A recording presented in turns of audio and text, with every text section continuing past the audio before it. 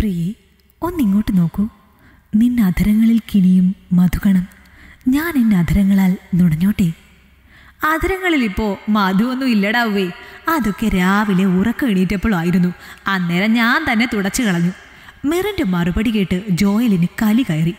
ഫോ ഊള ശവം അൺറൊമാന്റിക് മൂരാജി ഒന്ന് മൂടായി വന്നപ്പോൾ തുലച്ചു. ഇവളെയൊക്കെ കെട്ടാൻ നടക്കണ എന്നെ പറഞ്ഞാൽ മതിയല്ലോ. പിറുപിറുത്തുകൊണ്ട് എഴുന്നേൽക്കാനാഞ്ഞ അവനെ ബലമായി തിരികെ പിടിച്ചിരുത്തി ആ അധരങ്ങളിൽ അമർത്തി ചുംബിച്ചു അവൾ. ആ ചുടുചുംബനത്തിൽ ലയിച്ചു. അല്പസമയം അങ്ങനെ തുടരവേ.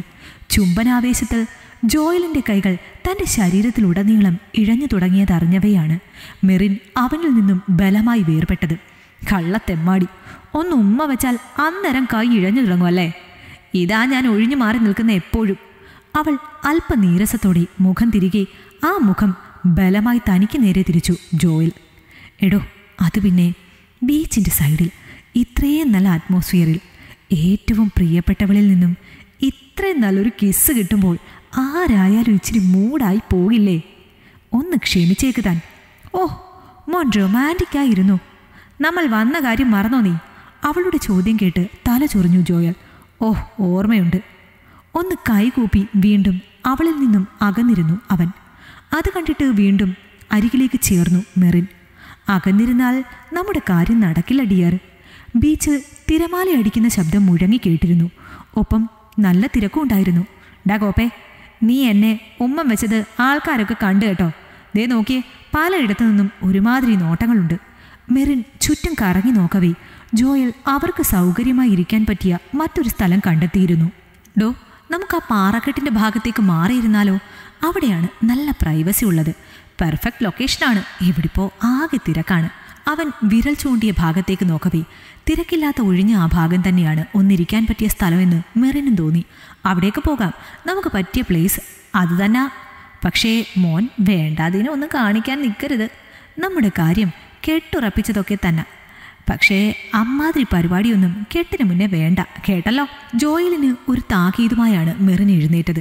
അത് കേട്ടതോടെ നിരാശാഭാവത്തിൽ കൂടെ എഴുന്നേറ്റു അവൻ. ഓ ആയിക്കോട്ടെ. എനിക്ക് ആക്രാന്തൊന്നുമില്ലേ ഇതെന്തായാലും എനിക്ക് വിളമ്പി വെച്ചേക്കുന്ന സദ്യ തന്നെ. ഇന്നല്ലെങ്കിൽ നാളെ.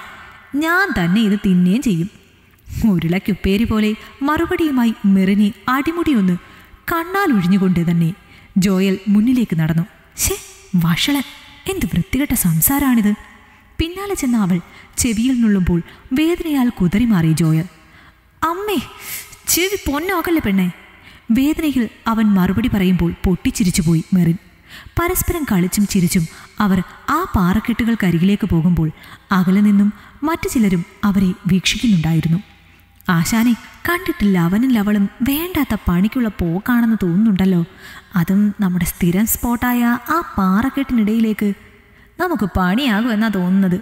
ചന്ദ്രുവിന്റെ ചോദ്യം കേട്ട് നകുലന്റെ ചുണ്ടിന്റെ കോണിൽ ഒരു വഷളൻ ചിരി വിടർന്നു. ഒപ്പമുള്ള മറ്റുള്ളവരും അവരെ തന്നെ നോക്കി നിന്നു. അവർ പോട്ടടാ പോയാലല്ലേ നമുക്ക് പണിയാവുള്ളൂ. കണ്ടിട്ട് നല്ല ചരക്ക് പെണ്ണാണ്. ആ ചെറുക്കന്റെ തലയ്ക്കൊരു കൂട്ട് കൊടുത്തിട്ട് മാറ്റി നിർത്താവുന്നതേ ഉള്ളൂ. ആദ്യം അവരുടെ ടിങ്കോൾഫി ഫോണിൽ റെക്കോർഡ്സ് ചെയ്യാൻ പറ്റിയാൽ അത് കാട്ടി പേടിപ്പിച്ച് സിമ്പിളായി അവളുടെ മേലിൽ കയറി ഒന്ന് അഴിഞ്ഞാടാം.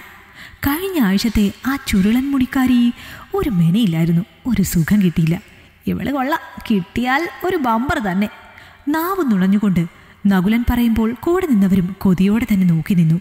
ആശാനെ സൂക്ഷിച്ചു വേണം. റോഡിൽ പോലീസ് ജീപ്പ് ഒരെണ്ണം കിടപ്പുണ്ട്. പെട്രോളിംഗ് ആകും.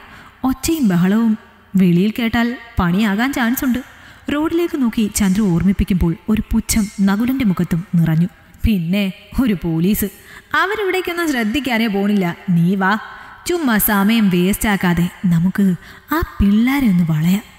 അത്രയും പറഞ്ഞുകൊണ്ടവൻ മുന്നേ നടക്കുമ്പോൾ പിന്നാലെ ചെന്നു ചന്ദ്ര ഉൾപ്പെടെയുള്ള പരിവാരങ്ങൾ. പാറക്കെട്ടുകൾക്കിടയിൽ അധികമാരും ശ്രദ്ധിക്കാത്തൊരിടത്താണ് ജോയലും മെറിനും പോയിരുന്നത്. ജോയൽ വീട്ടിലെ പപ്പ വെഡിങ് കാർഡ് സെലക്ട് ചെയ്തു കേട്ടോ. ദേ ഇപ്പോൾ വാട്സപ്പിൽ ഡിസൈൻസ് അയച്ചു തന്നു. സംഗതി പൊളി. തന്റെ ഫോൺ ജോയലിന് നേരെ കാട്ടി അവനോട് ചേർന്നിരുന്നു മെറിൻ. ഇത് കൊള്ളാം നല്ല ഡിസൈൻ ഞാനും ഇതുപോലൊരു ഡിസൈൻ തന്നെ കണ്ടുവച്ചേക്കുന്നേ. പക്ഷേ കൺഫേം ആക്കിയിട്ടില്ല കേട്ടോ. അവർ പരസ്പരം സംസാരത്തിൽ ലയിച്ചിരിക്കവേ. അറിഞ്ഞില്ല ചുറ്റും നകുലനും സംഘവും വളഞ്ഞത്. ആശാനെ വീഡിയോയ്ക്കുള്ളതൊന്നും കിട്ടാനില്ല. നമുക്ക് ഇടിച്ചു കയറി അങ്ങ് ചെന്ന് ഒരു സീൻ ഉണ്ടാക്ക്. അതാണ് നല്ലത്. ചന്ദ്രു അഭിപ്രായപ്പെടുമ്പോൾ അത് തന്നെയാണ് നല്ലതെന്ന് നകുലനും തോന്നി. കൂടുതൽ സമയം വെയിറ്റ് ചെയ്യാനുള്ള ക്ഷമ അവനില്ലായിരുന്നു. കാരണം അത്രമേൽ മെറിന്റെ സൗന്ദര്യവും മേനിയഴകും അവനെ കൊതിപ്പിച്ചു. പെണ്ണ് ചരക്ക് തന്നെ. ആ പൂണ്ട് വിളയാടും നകുലന്റെ പരിവാരങ്ങൾ കൊതിയോടെ അവളെ അടിമുടി നോക്കി നിന്നു. അല്പസമയം കൂടി സംസാരിച്ചിരിക്കവെയാണ് തങ്ങളെ ആരോ വളഞ്ഞിട്ടുണ്ട് എന്ന കാര്യം ജോയൽ മനസ്സിലാക്കിയത്. മെറിൻ ഇവിടെ ചുറ്റാകെ ആരോ ഉണ്ട്? ചാടി എഴുന്നേറ്റുകൊണ്ടവൻ ചുറ്റും കണ്ണോടിക്കുമ്പോൾ തങ്ങളെ കണ്ടു എന്ന് മനസ്സിലാക്കി നകുലൻ പതിയെ അവരുടെ മുന്നിലേക്ക് ചെന്നു. അതുകണ്ട് മെറിനും പതിയെ എഴുന്നേറ്റു. മക്കൾ രണ്ടാളും കാറ്റ് കൊള്ളാൻ ഇറങ്ങിയേക്കുവാണോ? അതെന്താ രണ്ടാളും ഇവിടെ വന്ന് പമ്മിയിരിക്കുന്നേ? കടൽക്കരയിൽ നല്ല കാറ്റുണ്ടല്ലോ. വഷളം ചിരിയോടെ നകുലൻ അടുത്തേക്കെത്തുമ്പോൾ പിന്നാലെ പരിവാരങ്ങളും എത്തിയിരുന്നു. അത് പിന്നെ കാറ്റ് കൊള്ളുമ്പോൾ കൊച്ചു വേർക്കില്ലേ ആശാനെ? അന്നേരം ഒന്ന് ഊരി പിഴിയാനൊക്കെ ഇവിടെ ആകും ബെസ്റ്റ് പ്രൈവസി പ്രൈവസി നകുലന്റെ പിന്നാലെ എത്തിയ ചന്ദ്രവും അല്പം ആവേശത്തിലായിരുന്നു. മുന വെച്ചുള്ള അവന്റെ കമന്റിന്റെ അർത്ഥം മനസ്സിലായെങ്കിലും മൗനമായി തന്നെ നിന്നു ജോയൽ. എന്നാൽ കമന്റുകൾ വീണ്ടും ഉയരവേ അവൻ സഹിക്കിട്ടു. നിങ്ങൾ എന്ത് ബോർ സംസാരമാണ് മിസ്റ്റർ അതും ഈ പെങ്കൊച്ചിന്റെ മുന്നിൽ പുച്ഛത്തോടെയുള്ള ജോയിലിന്റെ ചോദ്യം കേട്ട് നകുലനും കൂട്ടാളികളും ഉച്ചത്തിൽ ചിരിച്ചു. എടാ ചെറുക്ക നിനക്ക് ഈ പെണ്ണിനെയും വളച്ച് ഇവിടെ വന്ന് പമ്മിയിരുന്ന് വേണ്ടാത്തത് കാണിക്കാം. നമ്മൾ പറഞ്ഞാലാണ് പ്രശ്നമല്ലേ? നകുലന്റെ ആ മറുപടി മെറിനെ ചൊടിപ്പിച്ചിരുന്നു. എന്ത് വേണ്ടാത്തതാണ് മിസ്റ്റർ? ഞങ്ങൾ കാട്ടിയത്? ഇവിടെ വന്ന് ഒറ്റക്കിരിക്കുന്നതാണോ? അത്ര വലിയ കുറ്റം. അവളുടെ ശബ്ദം ഉയർന്നപ്പോൾ പതിയെ അരികിലേക്ക് മുഖമടിപ്പിച്ചു നകുലൻ. കഴിഞ്ഞ ആഴ്ച ഒരുത്തി ഒരു ചുരുളൻ മുടിക്കാരി കാമുകനുമായി ഇവിടെ വന്നു. അന്ന് അവൾ ഇതേ ചോദ്യം എന്നോട് ചോദിച്ചതാ. ഒടുക്കം പരിപാടിയൊക്കെ കഴിഞ്ഞ് ഞാൻ ഇട്ടിരുന്ന നിക്കറടക്കം അവളെ കൊണ്ട് കഴുകിച്ചിട്ടാ ഇവിടുന്ന് വിട്ട. പേടിച്ച് നിലവിളിച്ച അവളുടെ മുഖം ഇപ്പോഴും എന്റെ മനസ്സിലുണ്ട്. പേടിക്കണ്ട. മോളുടെയും ഗതി അത് തന്നെ. ഭയപ്പെടുത്തുവാൻ വേണ്ടിയാണ് പറഞ്ഞതെങ്കിലും അത് കേട്ടിട്ട് ഒരു കൂസലുമില്ലാതെ മിറൻ നിൽക്കുന്നത് കണ്ടപ്പോൾ അതിശയമായി നകുലന്. നിനക്കെന്താടി കൊച്ചേ? ഞാൻ പറഞ്ഞത് വിശ്വാസമായില്ലേ? അവൾ നല്ലോണം വീണ വായിച്ച ഒരു വീഡിയോ ഉണ്ട് എന്റെ ഫോണിൽ. അത് കാണിക്കണോ നിന്നെ? അയ്യോ ചേട്ടാ വായനയൊന്നും കാണണ്ട. ഞങ്ങളെ ഒന്ന് വെറുതെ വിട്ടേക്ക്. ജോയൽ അവർക്കിടയിലേക്ക് കയറവി. നകുലന് കലി കയറി. ഞാൻ കൊച്ചിനോട് സംസാരിക്കുന്നത് നീ കേട്ടില്ലേ? അതിനിടയ്ക്ക് കേറുന്നോടാ നാറി. ദേഷ്യത്തിൽ ജോയലിനെ അടിക്കുവാനായി കയ്യോങ്ങിയത് മാത്രമേ അവന് ഓർമ്മയുണ്ടായിരുന്നുള്ളൂ. മുഖത്തേക്ക് ഒരു കാറ്റ് വീശി. ഒപ്പം അല്പനേരം തലയിൽ വല്ലാത്തൊരു പെരുപ്പ് അനുഭവപ്പെട്ടു അവനും. കാതുകളിൽ മൂളൽ മാത്രം കേൾക്കെ കൂട്ടാളികളുടെ അന്താളിപ്പ് കൂടിക്കണ്ട് നകുലന്റെ മിഴികൾ തുറിച്ചു. കുറച്ചു സമയം വേണ്ടി വന്നു ആ പെരുപ്പിൽ നിന്നും മുക്തനാകുവാൻ. അതോടെ അസഹനീയമായ വേദനയിൽ പുളഞ്ഞു അവൻ. പതിയെ പതിയെ അവൻ തിരിച്ചറിഞ്ഞു ജോയിലിന്റെ വക ചെകിടടച്ച് തനിക്കൊരടി കിട്ടി എന്നത്. ആശാനെ തല്ലിയോടാ. നീ തീർന്നടാ മോനെ തീർന്നു. കലുതുള്ളി ഓടിയെത്തിയ ചന്ദ്രുവിന്റെ നെഞ്ചിൽ വലതുകാൽ ഉയർത്തി ആഞ്ഞു ചവിട്ടി ജോയൽ. ചവിട്ടുകൊണ്ട് അടിതെറ്റി ചന്ദ്രു പിന്നിലേക്ക് വീഴുമ്പോൾ മറ്റുള്ളവരും ഒന്ന് ഭയന്നു. നീ തീർന്നടാ തീർന്നു. നിലത്ത് കിടക്കുമ്പോഴും ചന്ദ്രുവിന്റെ ശൗര്യം അടങ്ങിയിരുന്നില്ല. എന്നാൽ ആ സമയം നകുലൻ ശ്രദ്ധിച്ചത് മറ്റൊന്നാണ്. ചവിട്ടുവാൻ കാലുയർത്തിയ ജോയലിന്റെ കാലിൽ കിടക്കുന്ന കറുത്ത ബൂട്ടും കാക്കി കളർ ബോക്സും. അത് കണ്ടപാടെ ഒരു സംശയം അവന്റെ ഉള്ളിൽ ഉടലെടുത്തു. ആ സംശയം സത്യമാണെന്ന് തിരിച്ചറിഞ്ഞത് മെറിന്റെ കാൽപാദങ്ങളിൽ കൂടി അതേ ഷൂസ് കണ്ടപ്പോഴാണ്. ഡാ പോലീസ് നടുക്കത്തോടെ നകുലന്റെ ചുണ്ടുകൾ മന്ത്രിക്കവേ ചന്ദ്രുവും കൂട്ടാളികളും അത് കേട്ട് ഞെട്ടി. പോലീസോ? ഇവരോ? ചന്ദ്രുവിന്റെ നോട്ടം കണ്ട് പതിയെ ഒരു പുഞ്ചിരിയോടെ കയ്യിലിരുന്ന ഫോൺ കാതോട് ചേർത്ത് മെറിൻ. സർ അവരെ കിട്ടിയിട്ടുണ്ട്. Please come. പിന്നെയെല്ലാം വളരെ പെട്ടെന്നായിരുന്നു. ഒന്ന് ഓടി രക്ഷപ്പെടാൻ പോലും നകുലനും കൂട്ടാളികൾക്കും സമയം കിട്ടിയില്ല. അതിനു മുന്നേ നാലു പാട് നിന്നും പോലീസ് അവരെ വളഞ്ഞു. എല്ലാവരും കുതിറി ഓടുവാൻ ഒരു ശ്രമം നടത്തിയെങ്കിലും പോലീസുകാരുടെ കൈക്കരുത്തിനു മുന്നിൽ എല്ലാ ശ്രമങ്ങളും വിഫലമായി. ഒടുവിൽ എല്ലാവരെയും പോലീസ് ജീപ്പിൽ അടിച്ചു ചുരുട്ടി കൂട്ടിയപ്പോൾ പതിയെ നകുലന് മുന്നിലേക്ക് ചെന്നു ജോയലും മെറിനും. അടികൊണ്ട് അവശനായ നകുലന്റെ മുഖത്തേക്ക് നോക്കുമ്പോൾ മെറിന്റെ മിഴികളിൽ രോഷം ഇരട്ടിച്ചു. പന്ന നാറി നീ വലിയ വീമ്പോടെ പറഞ്ഞില്ലേ കഴിഞ്ഞയാഴ്ച ഒരു പാവം പെൺകുട്ടിയോട് ചെയ്ത ക്രൂരത?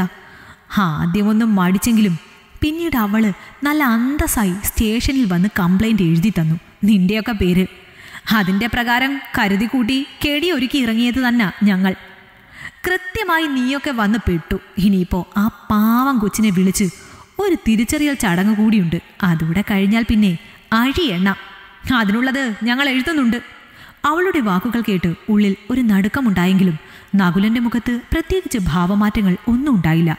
കാരണം അത്രത്തോളം അവശനായിരുന്നു അവൻ. എന്നാൽ പിന്നെ ജീപ്പ് വിട്ടോ സാറേ? ഞങ്ങൾ ഇനി ലീവ് കഴിഞ്ഞേ ഉള്ളൂ. എസ് ഐക്ക് ഒരു സല്യൂട്ട് നൽകി ജോയലും മെറിനും അത് കണ്ട് പുഞ്ചിരിച്ചു. ആ എസ് ഐ. അപ്പോൾ advance happy married life wishes കല്യാണത്തിന് കാണാം. അതും പറഞ്ഞ് എസ് ഐ ജീപ്പിലേക്ക് കയറിയതും എല്ലാവരോടും യാത്ര പറഞ്ഞ് മെറിനും ജോയലും. നിമിഷങ്ങൾക്കകം ആ ജീപ്പ് അവിടെ നിന്നും മറഞ്ഞു. പോലീസുകാർ വന്ന് ആ നകുലനെയും കൂട്ടാളികളെയും പിടിച്ചോണ്ട് പോയതാ. എന്തേലും കേസ് കാണും. ആൾക്കൂട്ടത്തിനിടയിലെ സംഭാഷണങ്ങൾ ഇതൊക്കെയായിരുന്നു. പതിയെ പതിയെ ചുറ്റും കൂടിയവരും പിരിഞ്ഞു. അതോടെ മെറിന്റെ ചുമലിലേക്ക് കൈയിട്ടു ജോയൽ. എല്ലാ ശല്യങ്ങളും മാറിയ സ്ഥിതിക്ക് നമുക്ക് ഒന്നുകൂടെ ആ പാറക്കെട്ടിനിടയിലേക്ക് പോയാലോ? ഒന്ന് കണ്ണിറുക്കിക്കൊണ്ട് അവൻ നോക്കുമ്പോൾ കൈ മുറുക്കി അവന്റെ തലയിൽ ഒരു കൊട്ടുകൊടുത്തു മെറിൻ. അയ്യട മോനെ ഒന്നും വേണ്ട. മോൻ വേഗം വണ്ടിയെടുക്ക് വീട്ടിലേക്ക്. അത് കേട്ട് പുഞ്ചിരിയോടെ തന്നെ ജോയൽ തന്റെ ബുള്ളറ്റിലേക്ക് കയറി ഒപ്പം മെറിനും. നിമിഷങ്ങൾക്കകം അവർ അവിടെ നിന്നും മറഞ്ഞു. ഈ കഥ നിങ്ങൾക്കിഷ്ടമായെങ്കിൽ ലൈക്ക് ചെയ്യൂ. നിങ്ങളുടെ അഭിപ്രായങ്ങൾ കമന്റായി രേഖപ്പെടുത്തൂ. കൂടുതൽ കഥകൾ കേൾക്കാൻ ഈ ചാനൽ സബ്സ്ക്രൈബ് ചെയ്യൂ.